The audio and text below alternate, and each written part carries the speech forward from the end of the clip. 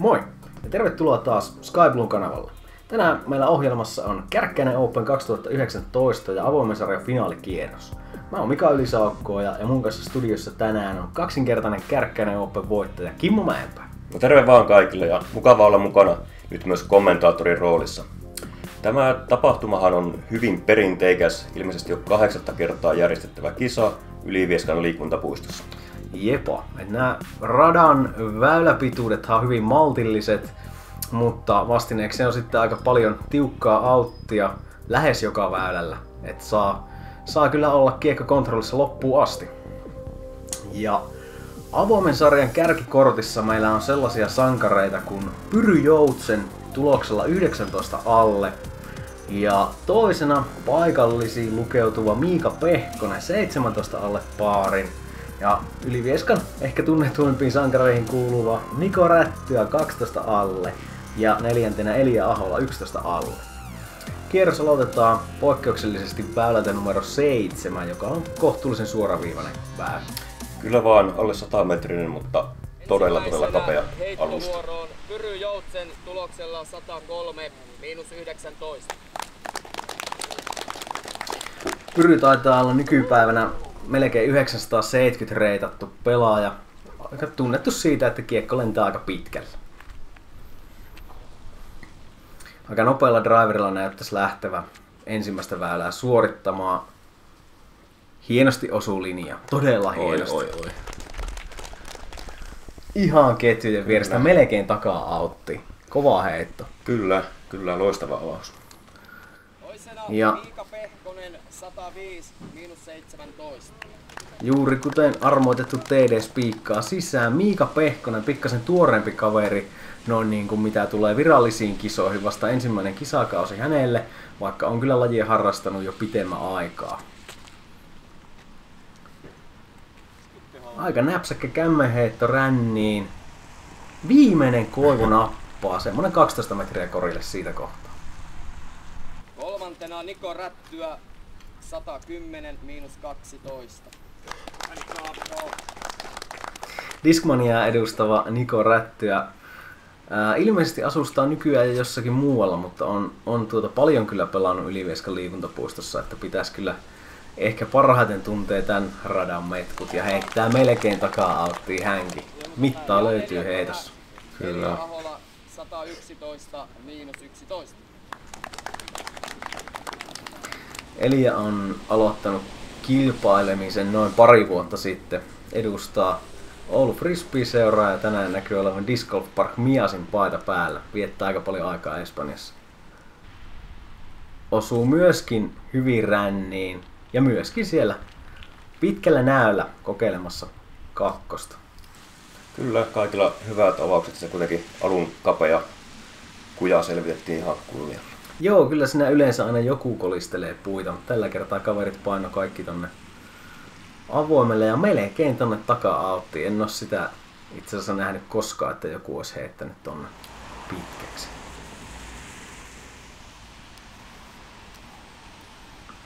Pitkä roikutus menee nyt ohi laitteesta, muutaman metrin comebackeri. Aika saman mittainen putti myös pyryllä, eikä sekään osu laitteeseen.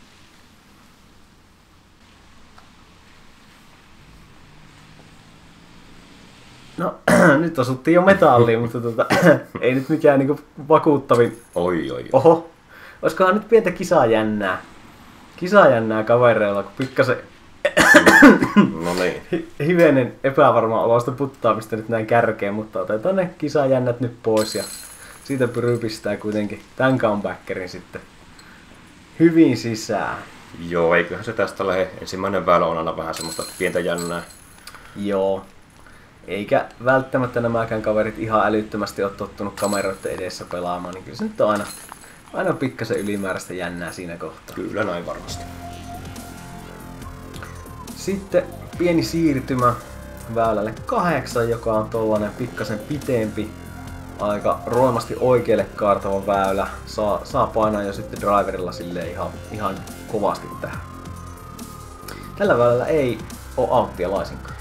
Joo, tää on niitä harvoja väyliä, missä ei ole OP, mutta ei, ei helppo väylä silti. Ihan tommonen tekninen Se Antsa, tuo, tuo ei kyllä nyt, ei pitänyt ensinkään ja nyt, nyt ollaan aika pahan näköisessä paikassa.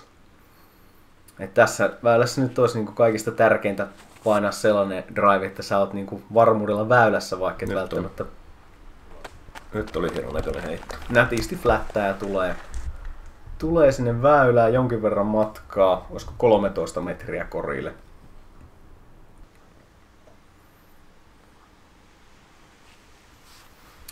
Pyryllä saattaa olla ihan niin kuin midariväylä tää, kun on, on heitossa niin paljon tehoa. On hieno linja, aivan loistava Oi, kulma, hyvänen aika se. aivan huikea heitto. Kyllä, loistava. Kuusi metriä, aivan loistava. Aika pieni antsakulma ja kiekko flättää. Pysyy kuitenkin väylässä. Kyllä, Oikein hyvä. Taisi vähän ottaa tuonne puun oksiin tuosta vauhtia pois, mutta vähän kympin silti. Kyllä. Ja Miika on nyt sitten aika tylysti mörrissä. Hyvä fore. Hyvä, hyvä seivi ulos sieltä metästä ja pitkälle putille. Mutta, mutta, mutta ei missään nimessä helppo, helppo ole täältä. Joo. Joutuu tyytymään neloseen tällä kertaa, niin kuin se kyllä, kyllä tällä välillä helposti käy, jos tonne metään puolelle itsensä suorittaa. Kyllä joo, toi vasen puoli ei ole yhtään mukava paikka olla. Joo. Ja Nikollakin tosiaan yli kympin putti. Oi oi, Oi. ihan keskellä, mutta pikkasen mataa. Noin, nyt Kyllä, oli sitten. kyllä. Sinne ei enää jännittynyt putoata. Jep. Sitten siivoillaan lyhyet pois ja lähdetään yhdelle ehkä tämän radan niin kuin tiukimmista väylistä sellainen tosi kapea metsäränni tulossa seuraavaksi.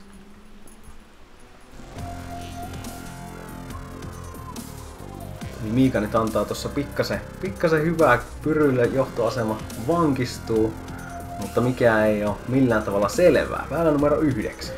Joo, tämä on vaikea minun mielestä. Todella todella kapea ja aivan luotisuora heitto vaaditaan. Käytännössä näille kavereille midari, putteri. Luultavasti kyllä. Ja pieni sivuosuma mäntyyn niin saattaa viedä sut tosi pahaan paikkaan. Toi meni hyvää linjaa, mutta jäi, jäi vähän matkan varrelle.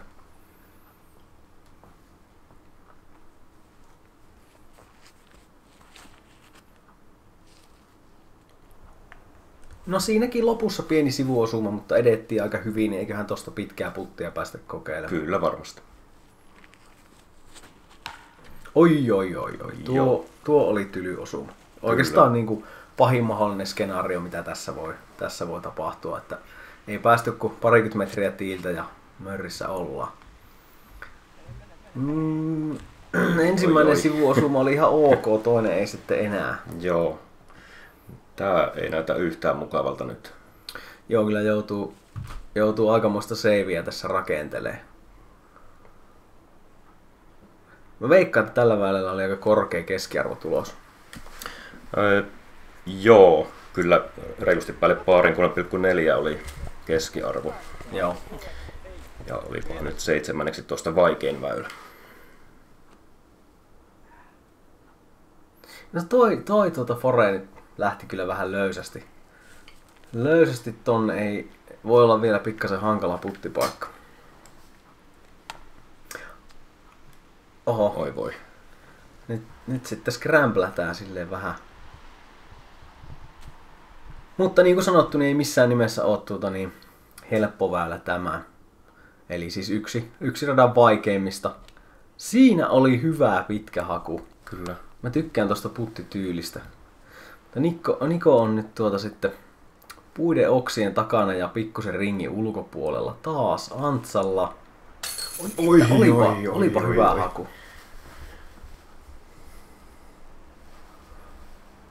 Ja pyryn paarputti, oi että, viikille.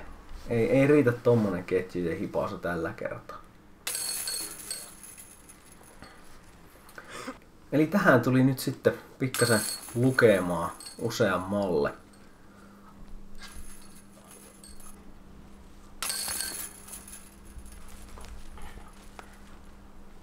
Mutta matkaa on tosiaan vielä reilusti jäljellä.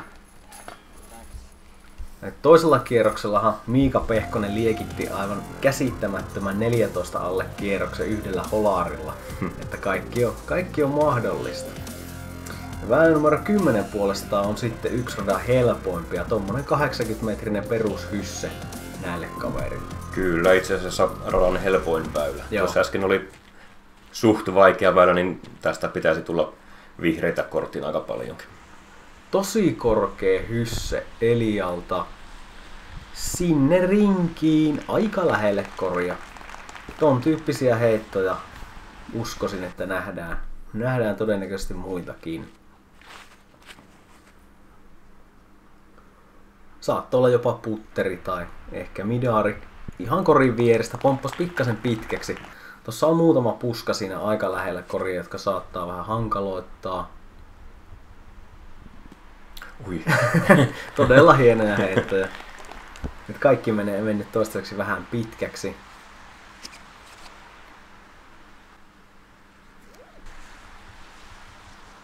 Ja siinä vitosen putilla. Tämän tyyppistä tähän väylään niin kuin avoimen sarjan kärjeltä sopii odottaa. Tosi nätti putti. Tossakin on kyllä hieno puttityyli, niin kuin tosi puhtaasti, hyvällä kierteellä, pikkasen keula ylhäällä. Ja Niko on oksien alla, mutta ei haittaa. Kakkosta lappuun. Melkein samasta paikasta. Pyry ja myöskin Ine. Nyt Olisiko ei, meillä Starframea tulossa? nyt ei enää kavereita jännitä tää puttaaminen yhtään. Kyllä, päivän ensimmäinen Starframe. Hienoa peliä. Ja nyt sitten taas tässä tulee kivasti esille tää radan dynamiikka, koska seuraava väylähän on taas sitten yksi radan vaikeimpia mun mielestä. Kyllä. Itse asiassa radan toiseksi vaikein, otan statseja. Aivan. Eli mittaa joku pikkasen päälle 100 metriä, mutta melko kapeaan gappiin pitää heittää ja lopussa taittaa oikealle. Et väylä driveria varmaankin pikkusen hyseflipin kautta. No se ei ollut hyseflip, mutta toimii Nätisti tosi tulee. nätisti. Noin. Kyllä. Ja kämmen heitto tähän tietysti toimii myös, jos, jos semmonen löytyy. Näyttäis löytyvän. Ky- kyllä. Näin. Oi vitsi, Oi, kun tuli myöhäinen puu. puuosuma. Se oli kyllä tosi kovilla teholla lähtee. Pikkusen Antsan kautta flexaa. Aivan loistava. Aivan loistava Oi. heitto. Ja veikkaan, että nähdään vielä yksi fore. Aivan joo, Miika on pikkasen enemmän forepainotteinen pelaaja. Lähtee ylös hyvässä kulmassa, hyvää Nyt tehoa. Oi, oi, oi, oi, oi, oi. Aivan loistavaa. Näitä on iloa katella ja saadaan vilkasta vielä uudelleenkin. Kyllä. Ai, että oli nähty. Huhhuh, tuskin pystyi sitten juuri parempaa. Mainiota. Joo, Pyry jäi yllättävän lyhyeksi, vaikka näytti niin kovalta se heitto, mutta nappasi puun sieltä väliltä pitkällä antsaputilla viereen. Hieno. Kyllä.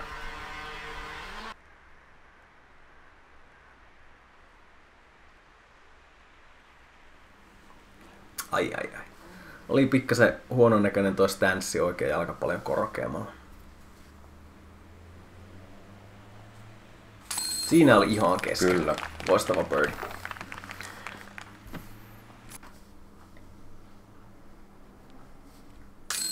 Ah, pikkasen vasemmalla, mutta Pro Basket ottaa kopiin. Kyllä, tällä kertaa riittää. Kyllä. Joo, vaikka tämäkin tosiaan lukeutuu niin kuin keskiarvollisesti niin kuin niihin radan vaikeimpiin väyliin, niin kyllähän täällä melkein kaikki taitaa olla sellaisia, että niihin voi, voi avoimen sarjan kaverit ottaa birdie. Joo, kyllä. Ää, Väylä numero 12 on aika suoraviivainen, mun mielestä vaan tuommoinen rysty. Suora 100 metriä rystyllä, auttia oikealla ja vasemmalla ja sitten vasemmassa reunassa mando kierrettävä oikealta.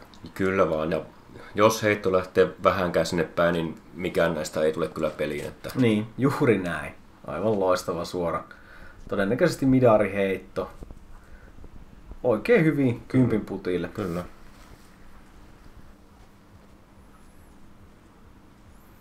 Miika Fore-painotteisena pelaajana hakee vasemmalta ja haastaa kyllä nyt kaikenlaista. Mutta vaikuttaisi olevan pelissä kuitenkin. Pyryltä aika yllättävää, että lähtee myös Forella hakemaan. Mä olisin odottanut jotakin ihan suoraa. Joo, sama homma. Toimii. Oho, oho. Tuotakaan mä en kyllä nähnyt Niin. niin. tulevaksi, että joku heittäisi tonne korin taakse kuski. Joo, ehkä olisi odottanut kuitenkin jotain midari-avausta. Oh-oh. Tuo oli nyt kyllä ihan aidosti jänkätty Fore Joo. tylysti autti. Ja sitten sataa vettä. Tää sää oli, oli aika tommonen epävakainen tuona päivänä, että hetkittäin tuli, tuli kuurosateita ja aika kovaa tuultakin ja nyt just tällä hetkellä on muuten tosi surkea sää. Joo, ei, ei näytä hirveän mukavalta säältä pelata. Jaha, ihan oikeasti tuulee. Tilanne muuttui aika nopeasti. Joo, minuutissa muuttuu aivan eriksi.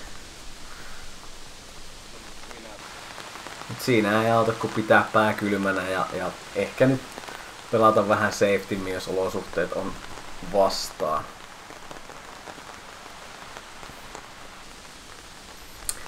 Muutaman metrin comebackeri jäi pyrylle. Oho. Oho, Se meni kyllä se läpi. osuu kyllä aika moneen ketjuun, mutta sitten tapahtui jotakin. Olipa, olipa tympeen näköinen keissi. Se on jännä, että ne tuntuu aina sattuvan niin kuin silleen tympeillä, tympeimmällä mahdollisella hetkellä.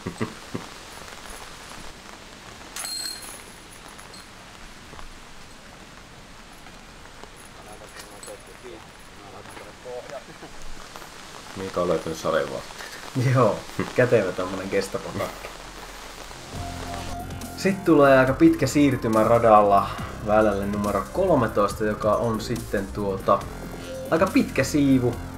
Vasemmalla auttiviiva, oikealla asfalttiauttia ja suoraan korin takana sitten tuota oja. Ei ole varmaan kuin, olisiko 7, 6-7 metriä korin takana. No ei se hirveän kaukana ole, ja sitten kun tuu vielä viettää alas käsiin, niin aika herkästi nämä kaverit varmaan pikkusen liian lujalla vedolla vetää sinne taka-auttiin. Nyt Elialla flippasi kyllä kiekko selvästi liian nopeasti ja jäi, jäi pahasti lyhyeksi. Tällä välillä ei mielellään kovin pitkää lähestymistä tarvisi suorittaa. Et pitäisi avauksella päästä sinne kakkosen ympyrää. Oho. Aika, aika, aikamoinen lipsautus ja hirvittävä huono pomppu oikealle auttiin. Tuossa kävi kyllä jo niinku ihan oikeasti huono tuuri. Joo, en ole kyllä ennen nähnyt tuommoista, että tulisi tuo oikea autti peliin. Pyryltä tosi kova forehysse. Korin vierestä tohon.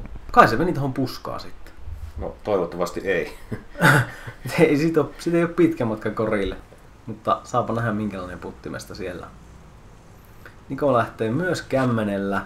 Kova heitto, vakaa kiekko. Feidaa varmaan vähän liikaa. Okei, PD2. No, No, no 15, kyllä. 14 putilla. Riskipaikka kyllä. On, joo. Siitä, siitä kannattaa osua jo laitteeseen, jos lähtee runoon. täältä suunnasta on tosi vaikea lähestyä, kun sitä hädintuskin näet koria. Ja tuo jäi tosi tympeästi nyt vähän lyhyeksi. Että tota, noinkohan, noinkohan lähtee runaamaan tuohon paikkaan. Ei, täytyy olla kyllä tosissaan varma, jos lähtee runaamaan. Jos Kyllä. vähänkään epäilyttää, niin muuta kuin leijappia juureen. Kyllä. Ai ai ai ai ai, toi, toi on kyllä semmonen, mitä, kun lähet laittaa safetyä, niin sitten jättää tommosen putin vielä. Oho, Öö, no okei, joo, se oli tommonen enemmän loftimpi, tommonen roikutus, pikku. ei. Hyvä yritys. Kyllä, ei, ei se hirveän kaukaa mene. Mm.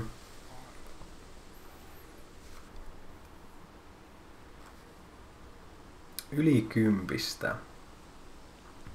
No morjes! No. Aivan keskelle. Tosi hieno putti. tätä, tätä on ilo katsoa. Varmaan maistu.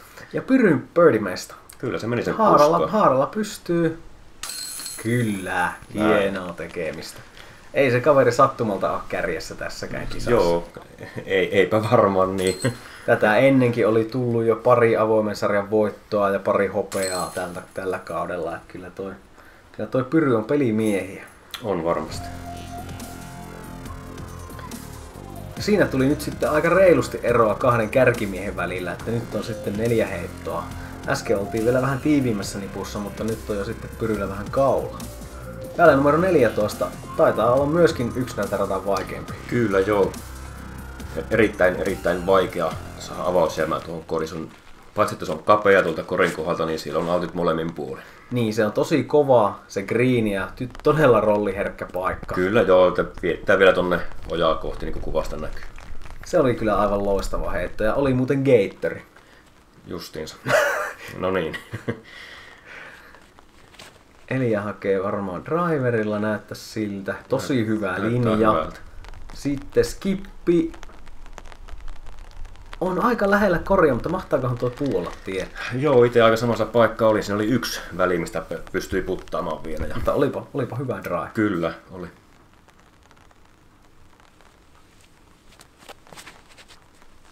Aika Nyt kovaa näyttää vähän liian korkealta.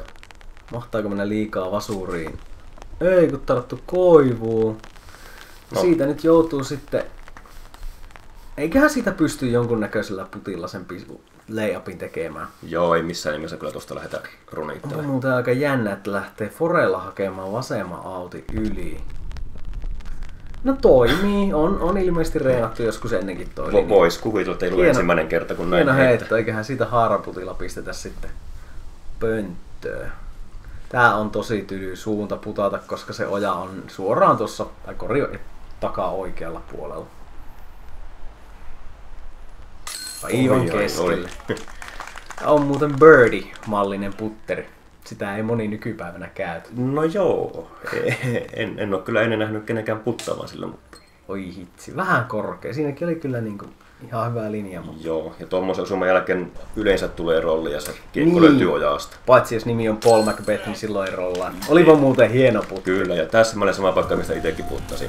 Ja, tä- ja täsmälleen samalla tavalla keskelle koria. Haha, luonnollisesti. Hashtag voittava pelaaja. Aivan älytöntä. Hienoa peliä. Väylä 15. Tää nyt ei sitten ehkä ole kuitenkaan ihan niin älyttömän hankala, vaikka periaatteessa jos hyssellä heitetään, niin mennään auti yli koko matka. Mutta tässä meillä on näitä fore-pelaajia, jotka todennäköisesti pelaa vasemman kautta tuolta. Kyllä joo, vois kuvitella. Ja varsinkin jos näitä tuota rystyhysseä pelaamaan, niin tuossa on pari koivua. Et jos sinne oksin laittaa, niin se on kyllä armolta autissa. Tää on hieno. Suoraan midariheittoa. Aivan loistava drive. Et siis tää on niinku amatööreille aika haastava väylä, koska siinä mm. sitten se varianssi on vähän suurempi, niin tähän on nähty kyllä isoakin lukua otettavan. Mutta näillä kavereilla heittomitta on sen verran pitkä, että en... Näyttää vähän pahalta. Se on todennäköisesti kyllä vedessä se kiekko. Ei näkynyt kyllä Aatti-merkkiä ruudulla, joten olisiko se siihen reunalle jäänyt. Toi oli pikkusen riskirajoilla, mutta menee kyllä hyvin sinne peleille. Tosta voi sitten voi lähteä runailemaan, koska korin takana on hyvin tilaa. Ei ole riskiä, että menisi mihinkään auttiin. Nikokin on kuulemma viimeisen parin vuoden aikana heittänyt paljon, paljon kämmentä ja tehoa löytyy kyllä. Todella hienon näköinen heitto. tulee hyvin. Siellä on ringissä. Olisiko Kyllä. seiskan putilla? Varmaan korkeintaan. Mainio, mainio suoritus. Tah. No niin. Onko tää nyt joku 14 metriä ylämäki? Ei tuota ongelmia. Kyllä. Siitä liutetaan Wardenin pönttöä ja kakkosta korttia. Ei se ole ihme, että se pelasi sen 14 alle edellisellä Joo. kierroksella. Ja avaus kuitenkin jäi sitten tuohon penkalle. Näytti kyllä, että se menee ihan varmasti sinne ojaan, mutta Aika helpostihan se olisi siitä rullannut ojaa, jos se olisi lähtenyt sillä tavalla menemään.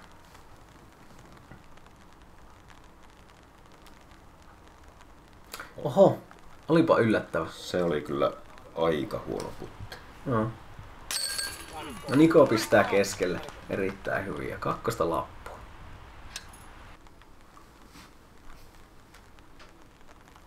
Ja Elian comebackeri on myös keskellä.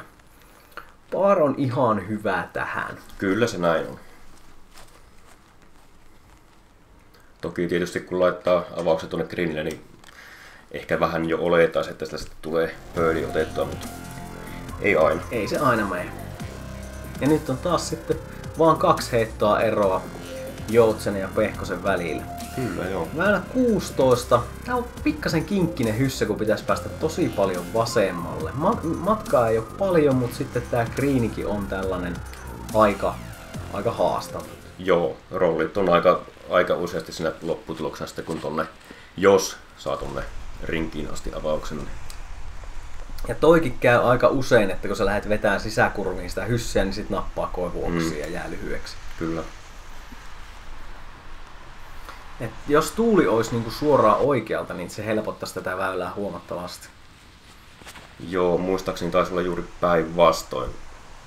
Juuri ainakin meillä aamukierroksella oli. Nätti drive otti vaan pikkasen rollia nyt tonne niinku pitkäksi. Joo, siellä se on kuitenkin kympin ringin Kyllä. reunamilla.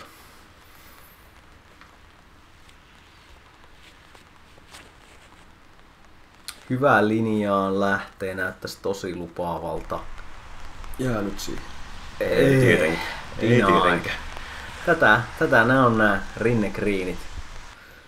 Et se on vähän coin flippiä, kun se heittää sen kiekon kulmassa. Se Nyt on muuten hirveän korkea heitto. Hetkinen, menikö se nyt niinku vallin taakse sinne vasemmalle Joo, puolelle? joo, jos ei jäänyt päälle, mutta Oho, aika rohkea. oi, Aika rohkea, kun tosta oli kuitenkin yli 15 metriä matkaa, niin ihan... Okei, Pyrylä on jännämäistä, kun yläpanta näkyy ja tiedetään, että rinne on takana. Ihan yritys oli. kyllä aika pelottomasti lähti kyllä. Eikä se nyt kauas sitä runa, rullailu sitten. Ai ai ai ai. Aika paha missi tossa kohtaa, kun se lähtee sitten just feidin viemään ton rinteen mukaisesti, niin siinä on sitten pitkä comebackeri tiedossa. Ah, no, se jäi viereen. Onneksi.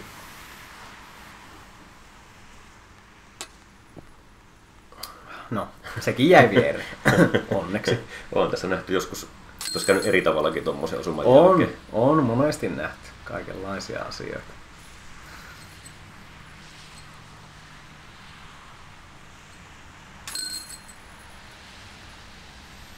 Noin, tämän väylän myötä meillä alkaakin olla sitten ensimmäiset kymmenen väylää käsitelty.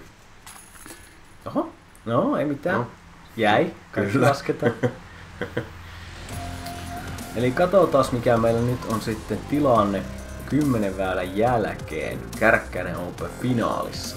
Pyry johtaa tuloksella 19 alle, Miika 17 alle ja muut kaverit on sitten jäänyt pikkasen jälkeen. Kiitoksia tässä kohtaa katsojille ja kiitokset Kimmolle. Kiitos. Me palataan hetken kuluttua takakympin merkeissä.